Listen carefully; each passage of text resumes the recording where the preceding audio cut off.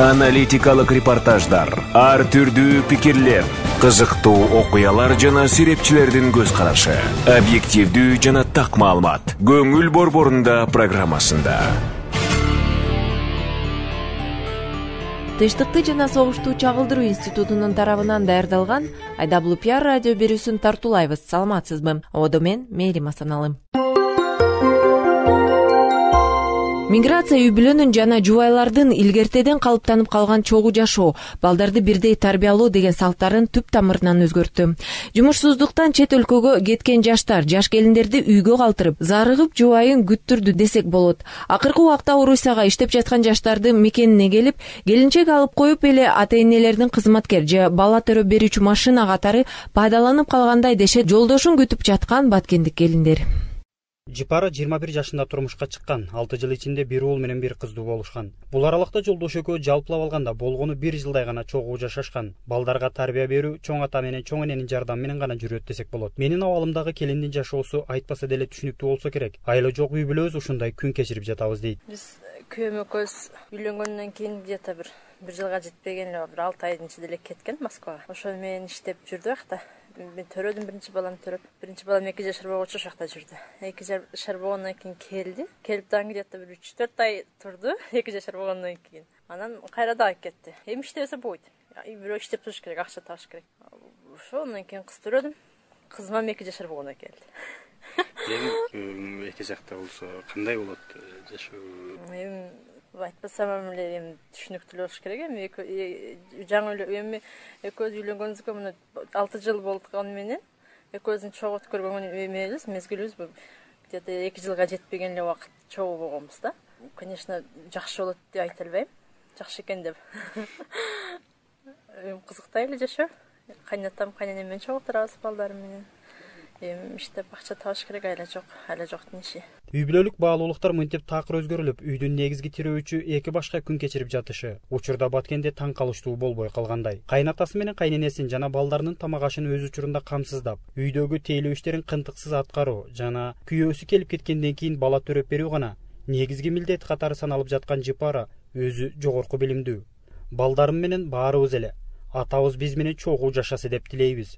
Бирок андай каалообузду ишке ашырууга мүмкүнчүлүк төп келбей жатат да дейт. Эми биринчиден кетпей эле москвага кетпей эле ушул жерде чогуу эле биз менен жашаса жакшы болот эле эми бирден э, эми э, эми иштебегенде күйөөмдө диплом жок. Анан өзүмдө диплом болгон мен балдар менен үйдөмүн бул жерде нормальный иш болгондон кийин же чогуу ушул жакта эми уякта болсо эми биякта болсо эми чогуу болгонубуз жакшы болот эле дейм албетте үй бүлөнүн куруучулары чогуу жашабай бир нече жылда бири бирин көрбөй алыста жашап жатышы үй бүлөлүү деген гана формалдуулук болбосо эрди катын деп айтуу да кыйындай туюлат жан жолдоштордун аралыгы алыс болуп бир топ убакытка созулуп кетиши ички туюмдарды да алыстатып мамилелердин салкындашына алып келери талашсыз. Ал гана эмес үй бүлө деген чоң жоопкерчилик экенин жаш үй бүлө куруучуларга жеткирип бере албай жаткандай эми эле жашы жыйырмага чыккан кызын өзүнүн жердеши бирок орусиянын жарандыгын алган жигитке турмушка узата коюп ооруп калганда таштап кеткен күйөө баласынан какшап жүргөн бурла эже мамлекет мыйзамды катаалдантып бир чара көрбөсө жаш келиндердин убал сообу эч кимди ойлонтпой калды дейт. Менин күйөө балам да москвада качып жүрөт да өз кызым кичинекей деп калса ушу москвадан келип койду да махоо ичимде менин дагы бир күйүп турган жалым бар да улар уже самолеттон жалгыз салып жүргөн да москвадан. Операция туринц операцияны жасаттык аппендицит деп анан ушул да жоопкерчилик загс жок мен эч кандай кыла албайт эми жашайт түбөлүктүү деп ошентип алданып калат экенбиз анан баштап кызыңыз өзү сүйлөшкөн беле сүйлөшкөн эмес эми обалы москванын гражданы экен былчыйып койду албетте аял эркек айрыкча жаш жубайлардын эки жакта жашоо кечириши жакшы натыйжа бербеши маалым бирок мындай абал үй бүлөнүн күн өткөн сайын бекемделиши убакыттын узарышы менен чыңдалышына тоскоол гана болбостон акыркы убакта саны артып жаткан жаш балдардын өз өмүрүнө кол салуусуна да кошумча фактор болуп калууда дейт. Акыйкатчынын баткен облусундагы ыйгарым укуктуу өкүлү хаитали айкынов. Анын айтымында балдардын тарбиясына да таасирин берип жаткан миграция маселесин чечүү бүгүн же эртең эле көңүл борборунан алынбайт. Абалдан чыгуу узак мөөнөттү талап кылат. Бул абал албетте үй бүлөнүн түптөлүшүнө үй бүлө чогуу жашап жылдан жылга биrini бири билип алар түшүнүп бекемдейт да бул жерде ошол шарт жок бул албетте терс таасирин берет ал үй бүлөнүн ошол эки жубайлардын ортосундагы мамилени айрыкча балдардын ортосундагы балдардын калыптануусуна чоң таасирин тийгизип атат бизге бүгүн уже результатын берип атпайбы? Балдар жашы жете элек балдардын суицид өзүнө өзү жанын кыйгандар каяктан дейсиң? Ушунун баары шарттын түзүлүшү тагыраак айтканда жанагы жаш үй бүлөнүн турмушунда ушу азырынча ушундай бир оң чечиле турган мүмкүнчүлүгү жок мындай туңгуюкка түртүп аткан бир шарт түзүлүп атат миграциянын учурдагы коомдун татыктуу жетилиши менен талаптагыдай жашоо салткайланган үй бүлөлүк формалардын бузулушун четтетүү үчүн маселени чечүү азырынча так мөөнөт көрүнбөй турат. Акыйкатчынын өкүлү бул көйгөйдү чечүү үчүн өлкө экономикасында радикалдуу өзгөрүүлөр болгонго чейин. Ар бир жаран өз үй бүлөсү деген маселеге жооптуу карап ар ким жекече шартты жаратуу менен аракети гана керек деп кошумчалайт. Бирөө сурашы мүмкүн мунун башка жолу барбы деп. Тилекке каршы бүгүн ошонун башка жолу жок койсо болуп атат. Албетте жергиликтүү бийлик жумуш ордунун түзүш керек адамдар өздөрү аракет кылыш керек кредит алыш керек. Ушинтип э, россияда тапкан э, отуз миң кырк миң акчасы э, отуз миң кырк миң эмес мына жерде жыйырма миң тапса деле артыкча баягы пайдалуу каражат болуп эсептелет бирок тилекке каршы ошол болбой жатат буга албетте аткаруу бийлигинин күнөөсү бар. Бул оңолушу бул көп убакытты талап кылат тез арада оңолуш үчүн мамлекеттин экономикасында кескин бурулуштар болуш керек албетте мамлекеттин экономикасында качан чоң өзгөрүү болот анан үй бүлөлөр айрыкча жаш жубайлар чогуу жашап калат деп күткөнгө убакыт тар экени белгилүү анткени алардын бул жакта чоң атасынын үйүндө же жакындарыныкында жашап туруу үчүн гана калган балдарынын тарбиясына тийгизген кесепети оор экени айтпаса деле маалымдыр орусияга жумуштап кеткен мигрант үй бүлөнүн баласы расул болсо учурда жайкы эс алуучу экенине карабай туугандарынын мал жандыктарын карап талаачылык жумуштарына жардам берип келет.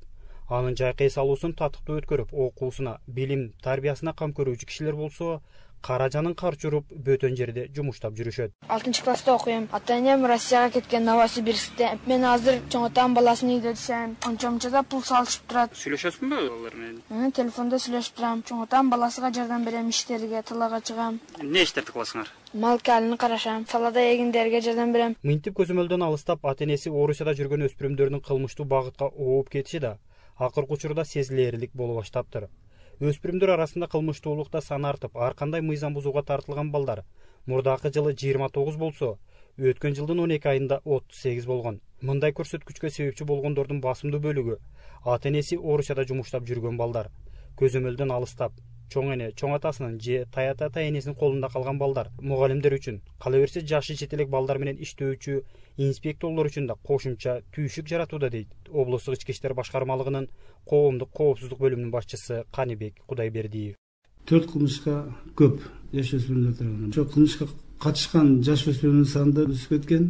Өзүн өзү өлтүрүү он эки болсо он тогуз болуп жетиге өсүп кетип атат бул кылмыштардын өсүшүнө бирден бир себеп деп ойлойм ушу ата энеси миграцияга россияга башка жака ишке кетип туруп ошо кароосуз калгандардан болуп атат деп ойлойм да. Өткөн областында ата энеси миграцияга кеткен өспүрүмдөрдүн саны он эки миң эки жүз кыркты түзөт ошолордун ичинен жыйырма жаш бала сабакка барбай койгон да. Бирок биз тараптан ошол аныкталып аны сабакка бардырып азыр ата энеси жок болсо да тайэне тайтасына туугандарына берип окуттуруп атабыз миграциянын пайдасы албетте аз эмес бирок анын келечек муундарга үй бүлөнүн бекемдигине кийинки жылдар үчүн жаратчу көйгөйлөрдү пайдасыга караганда зыяны көп деп айтсак аша чапкандык эместей аял алып бир аз жашап акча табуу үчүн кетип калып мезгил мезгили менен гана келип өз балдарын анда санда көрүп кеткен ата жөн гана биологиялык ата бойдон кала берет аталык мамиле кылып балдарга тарбия бергенге да жетишпейт ал эми аялынын чынында өз жары болуп мынча убакытта чогуу жашабай бири бирин да жакшы деген суроо жаралат. Мындай үй бүлөдө чоңойгон өспүрүмдөр кандай турмуш куруп кандай үй бүлө кураары көйгөйлүү суроо болуп кала берүүдө. Жеңиш айдаров атайын айдаблюпиар радиосу үчүн. Тынчтыкты жана согушту чагылдыруу институтунун тарабынан даярдалган айдаблу пиар радио берүүсүн тыңдадыңыз. Баардык радио материалдарды айдаблу пиар чекит нет жана кабар чекит азия сайттарында окуп жана уга аласыңар. Чыгарылышты мен мээрим асаналы алып бардым. Аман болуңуздар